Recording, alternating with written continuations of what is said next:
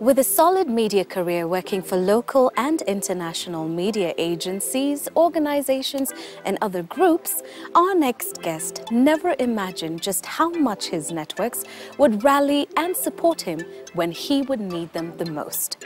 When you can't take another step, who is going to walk with you? Let's live out loud with Kevin Mwachiro next.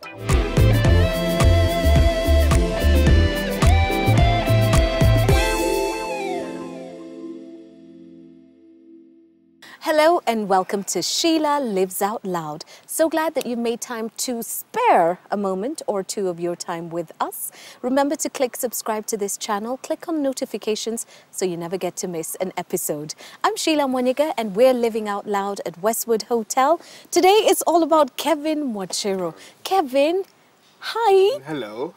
I'm trying my best to be all professional and guest, interviewer, guest Keep interviewer. You're doing well. You're doing well so far. But I tell you the I'm truth. the one who's like, know, in, in majesty. No, no, Kevin. You know, I've walked a journey with you and I've known you for so long. When I first got my first radio job, you were there. I had absolutely no idea what I was doing. And you were always there going, it's okay, you know. That's my first radio job So as well. Was it? Yeah. Why did you look so much more professional? Like, actor. I don't know what I'm happened to. Well, I'm an actress too, but I was more like, oh, help me, please, somebody. Yeah, I see. You're the damsel, I was the prince. But that was at another time. Yeah. For anybody who's tuning in right now and watching the show and has absolutely no idea who Kevin is, just tell us a little bit about you. I don't like talking about myself. Um, that's for one. But uh, yeah, Kevin, I call myself a storyteller, uh, a communications practitioner, um, lover of life, lover of people, um, fitness fitness freak when we're back at it. I love running, I love traveling, I love meeting people, I love reading. Oh, I'm a writer as well. Yes, you are. Um, I keep on forgetting that. Aspiring poet, activist. Um, so all many that thi- in a okay, of chips. so many things, Kevin. Yes. But Just you know a few what? things. As Who they say in said- Kenya, I'm trying. It, I'm trying. I love that. I don't love that expression. I'm trying. Niko Buju. I'm trying. Uh, No, but there's so many hats that you wear.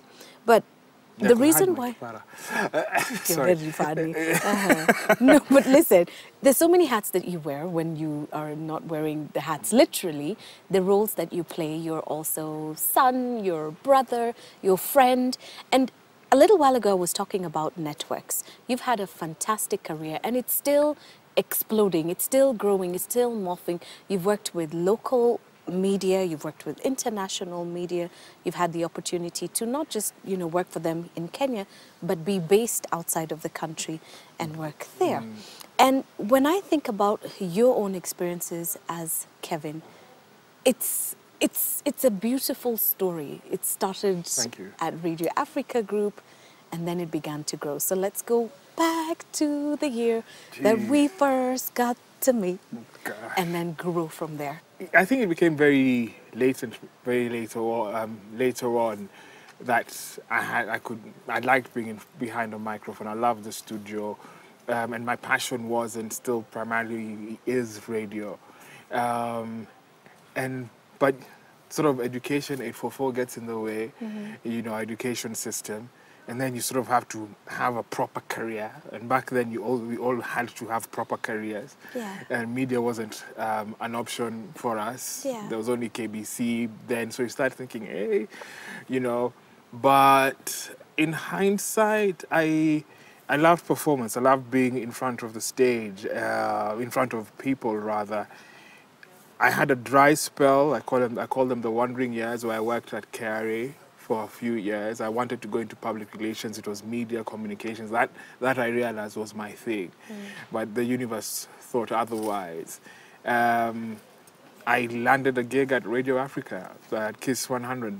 Thank you to Caroline Mutoko and Patrick Quarcoo, who I, I will I will attribute shameless plug No, because but if it's it the wasn't truth. if, if it wasn't for them, It's the same for me with Yeah. Caroline. I wouldn't have been absolutely If it- through you- all this if she hadn't just said, come, yeah it, it was that it was it was that and, and, and, and helping me grow and to helping me live my dream and and being in radio and I was able to do that not just at Kiss Mm. um, and then going to Uganda to get into community radio and then going to school to study radio as well. And I think for me, that was just, you say African, you know, eh, this was, this was a, a huge milestone being able to study something that you love and to study it in a way that, that, that makes you grow. That was amazing. And to be with people who will make you grow. And I thrived. And then going to work for a community radio station in, in, in the UK and doing that for two and a half years. Having a brief stint at the BBC, which I have every respect for, and it was like my dream job doing that. And these are new people you'd hear over the radio, over the internet. You're like, now these are your colleagues. You're flashing your badge at what was Bush House, like, hey, hey, I work here. You know, and, and, and for me, going to Bush House was like going to Disneyland. I wouldn't cheat you. It's sort of the holy grail It was radio. a holy grail, yeah. I'm- Yeah. And, and, and I'm a BBC member of staff, even though it was, it was a brief period. But it was that, being able to tell stories off the continent, which I love, being able to tell people stories, and then coming back to Kenya and then going through another journey altogether, knowing my passion was still radio and getting an opportunity to be exposed into news radio through the BBC and doing that for a considerable time and and being being behind the mic, then being ushered into TV, and you you grow. But I wanted to grow more, Yeah. so I chose to leave the media, uh, mainstream media, and, and, and venture into writing and communications for development, which is where I'm at. And that, in a nutshell, is, is, is the journey. Now, Kevin, we've talked about career and your growth. And you know, your career is chapters unfolding, everything sitting together, and all just going back to radio in one way or the other.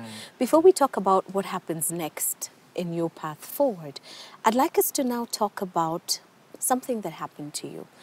At the beginning, you described yourself as a fitness fanatic, which is true. This man has run an Ironman. No, I haven't done an Not Ironman. yet? No, no, I, I attempted. I've, I, I, I attempted an ultra marathon, but I haven't. It may as well just be an Ironman. No, no, no. In no. my books. I didn't finish. At the so very I have the initials DNF, did not finish. Oh, but it's coming soon. Yes, inshallah. You're a man who's been very specific and in taking care of yourself, in living a clean lifestyle, in just, you know, work, working with the treasure of the body that you've been given and nurturing it well. But then a couple of months ago, in fact, should I even say months, Kevin? Because It this story is. is yours. Abu, can you begin to unpack? Yeah. Because to be quite frank, as Let's your ask, friend, ask, as your friend, when I came to see you in hospital and you told me about the cancer, in many ways I just sort of lost. I lost faith in fitness. Does that make sense? There were people who said that they were like, if Kevo can get cancer, what's the point Eh, of why are we exercising? busy do- Let's eat, binge, have nyama every day.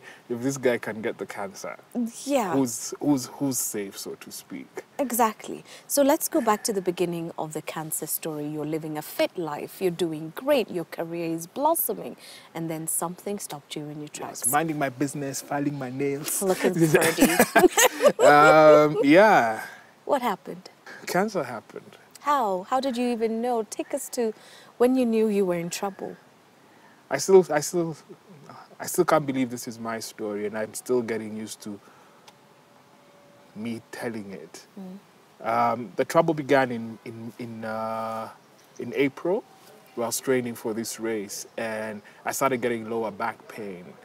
Um, so I went to the physio, my chiro, everything, and I, it just it just wasn't going away. And I couldn't. And, I, and one morning I just couldn't run, you know. And when I tried running, I just couldn't. So went to see the doc. Went to see a doctor. Did an MRI, and they found what they call as a, a hemangioma, um, an enlarged blood clot on my L5, which is one of the bones on the spine, on the lower spine. Um, they said, yeah, you're growing older, you've got an, you're, everything is fine, you're in shape, blah, blah, blah, blah. And then I'm, I'm fast tracking it.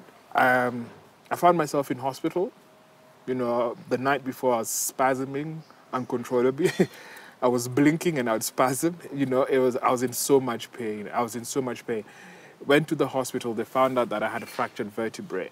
How did that even happen? And no one knows. Fast tracking now, this was in May. Um, fast tracking now to October, where I knew something was wrong. You know, I'd get pains in my body, my, my, my lower back, despite you know, almost six, four months of not doing much physical activity. it's still, I'm like, Kwani, bones take this long to heal. I even asked my doctor, is What's how? up? What's up? And I remember I, there was one time I got a sharp pain on my shoulder blade, like someone was drilling, had a drill and was literally on my shoulder blade. I'm like, what the hell? So I started describing this to him, and he's he. I was I'd gone for a review, and I was telling him all this. I'm like, ah, you guy, this thing is taking too long. Um, so I did a series of X-rays and MRIs. It's like you do this. A few days later, I was I'd, I'd gone to soon after that I'd gone to Uganda, and he called me. He's like, "Where are you at?" I'm like, "I'm in Uganda. Work." He's like, "I need you back in Nairobi today." This was like at around one o'clock. And I asked him, "Is what, what's happening? Why the urgency? Yeah, why the What? urgency? See, I come on Fridays. Like, no, I need you in Nairobi today in hospital. You know, you don't expect phone calls like that. You're No. like, is how? And he told me, I f- don't exercise. That morning I was going to something just told me not to. I had to wear a corset before from June. It's like, do you have your corset? Yes, wear it now and get to Nairobi. You know, and then I asked him, what's up? He's like, your images don't look great. It's one of two things um, spinal TB or multiple myeloma. I'm like, Is. What does is that who? mean? Whose friend Yeah, is that? Whose friend? Yes. Yeah, Where I do they know, live? Yeah. You know? Help me. Yeah. Um, and it's like, it's a blood cancer. So it's one of those two things. So I remember when I got that, I went to my room at the hotel and, and, and I called my friend and, and, and I cried. He was the first person. And then when the doctor was telling me, I just, I think this was the journalist that kicked in. I asked for a piece of paper at the bar and I just wrote down everything that he said. Came, did an email to my family and told them, this is it, I'm coming to Nairobi tonight, picking a few things and I'm going straight to the hospital. It was so bizarre. I, I, I couldn't work that day. I went and told my bosses, me going to Nairobi, this is what they're thinking. That evening, I was admitted into the Aga Khan. They did lots of tests, keeping my fingers crossed it was spinal TB. Mm-hmm.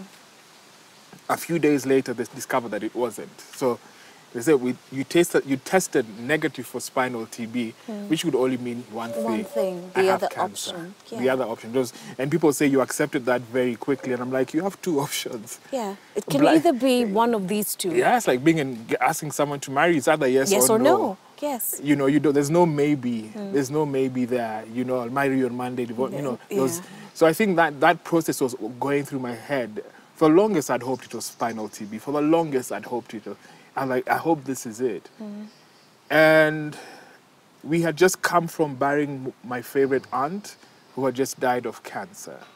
So the family was, we had relatives who'd flown in, so the family was still in that mourning stage. This was, mm-hmm. I think, barely two weeks into her passing away. And then next thing, Kevo has cancer. Mm-hmm. You know, it, it was that. You're like, I- I'm trying to go back to that moment. It's like, okay, it was mm-hmm. almost like, sour. this is what you've thrown at me Yeah. you know, okay. You know, and I think I accepted it a lot faster than everybody else. I'm like, what, what to do? And I What do remember you her, do? and I, I felt guilty at one time that I had cancer. I felt mm-hmm. guilty that I was putting the family through this. We just buried my aunt Judy, and then all of a sudden it's this. I felt guilty, or like I'm 43, I've got cancer. Where the chum's gonna come from? Mm. How can I go back to my folks' digs and start mm. depending on, on, on, on, on people? You know, it was it was that I really wasn't worried about myself initially. And then I remember having a conversation with my mom, asking her, What were you telling people that I have? She said, Oh, I'm telling people you've got a lower back. I'm like, That's not helping. In my mm. head, in head, I didn't know if we're gonna, we've had cases of cancer in our family. Just if we're gonna make any progress, we mm. might as well say it. Mm. I will, for, for lack of, this might, for some people might struggle with this, but I will claim it and own it. This is, mm. this It is what this- it It is is. what it is. There's no pussyfooting around, around it.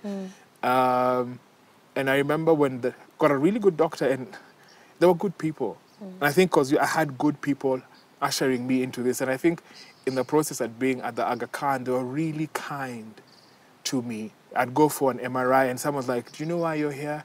We're testing for growth." Someone another test, we're testing for a lump. They were all very gentle with me and never used the same word. Mm. So in my head, like, this is You guys, it's okay. It's okay. You can say it. You can say it. Say the C I may not want you to say it, but, But just this say is it. This It's is it. But they were very. I remember one nurse actually when the doctor told me that it was They told me it was multiple myeloma. Mm. She just touched me and she felt it. And you're like,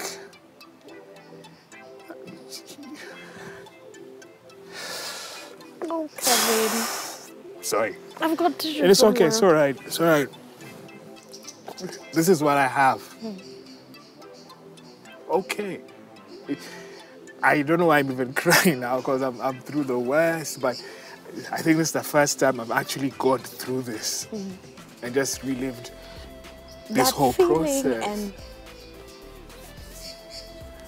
It was- don't. Because if you you get me started, and No. I'm just the worst. I'm just sweating. It's so hot now. Kevin.